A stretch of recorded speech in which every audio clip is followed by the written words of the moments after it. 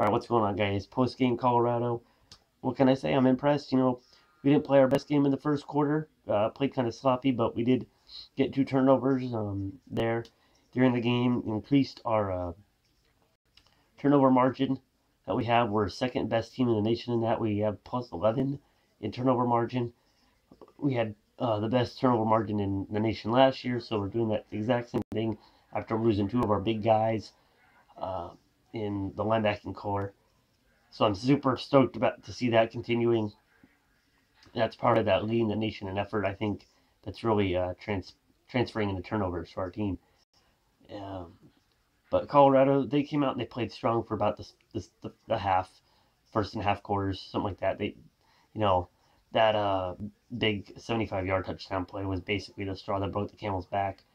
After that, they didn't have much of a whimper. And, you know, JC, did I not tell you? Maybe you need to listen to me a little bit more often. I told you the Stanford Washington game was going to be close.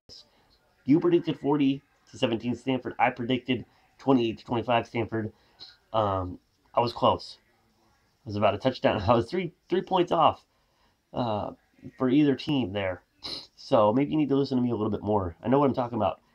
Uh, I think Oregon's going to get their first real test next week.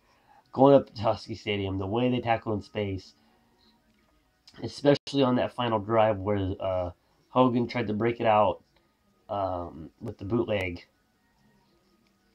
and they were hoping that the power run would fool them enough. And the way that guy Peterson tackled in space, that was impressive. And you know they they did that they did that all game. So I, I think that if the Huskies play like that, Oregon's going to get a true test. And if we can go in there and beat them by 21, 14 points, heck, even if we beat them by 17, I think that'll say a lot. And I do mean a lot about our football team and where we're at nationally. I will um, really start to believe into the the the big game trip. You know, if you know what I mean. Everyone's talking about it. I'm kind of more sitting back, but if we go in there and we beat Washington like we've been, uh, you know, just rolling people, and I'm not saying we're going to beat them by 40, but if we beat them by 17, 21 points, I will be supremely impressed with our team. It will be a great win. And, you know, Stanford proved that they're human and that they can be beat, especially with the hurry up.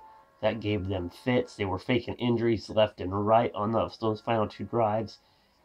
The guy would lay down, looked like he'd been shot by a cannon. Grimace limp away. Then the next play, he'd be back on the field. And that, you know, that, that's all well and good. But it don't it, it doesn't win you games, just delays them. Delays the inevitable against Oregon. We're going to beat you, Stanford. But I'm getting ahead of myself. The game's not till November 7th. Fuskies, you're next. Go Ducks.